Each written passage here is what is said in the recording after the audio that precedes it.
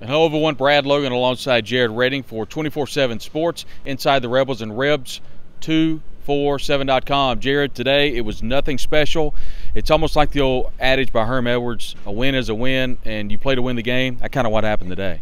Yeah, I mean, I, when uh, Kiffin first walked in, you know, of course, we he walked in when Ole Miss beat Troy 28 to 10, and he says, "All right, you know, it's good to get a win." He didn't do that this time around, even though they won by one score a game. It, it really felt like you know one of those games where it was like a losing press conference at right. the end, where he was like, you know, wish would have came in at halftime or else it would have been a little bit better. And it was one of those where Ole Miss was up uh, 21 points, so 35 to 14.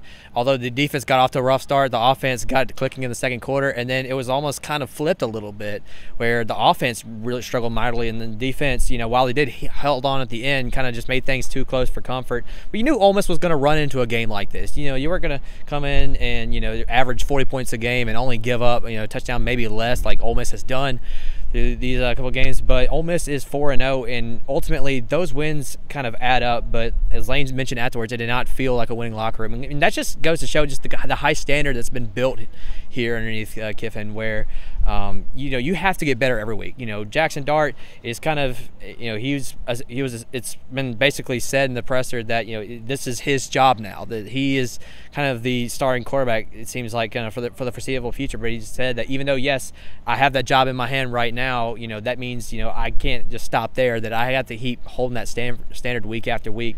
Um, and it's something that Ole Miss is really going to have to hold as a team because now you have the toughest conference in college football ahead of you, and it's nothing but that up until you get to bowl season. A couple of things to monitor, of course, the left hand of Jackson Dart. He wore a glove in the second quarter throughout, so that's something to monitor. Also, uh, J.J. Pegues, Khari Coleman, uh, Jared, we expect them back next week against Kentucky. That's at 11 o'clock kickoff here at Vaught-Hemingway Stadium. And third, there was an injury to Zach Evans. We do not know uh, just how bad the injury was, but that means Quinshon Judkins uh, is going to be the only running back available, and Kentrell Bullock, depending on how Evans is going forward, and also that injury to uh, transfer uh, running back Ulysses Bentley, who's got the hand injury. He's out for a couple of weeks as well. There's some injuries uh, on this team.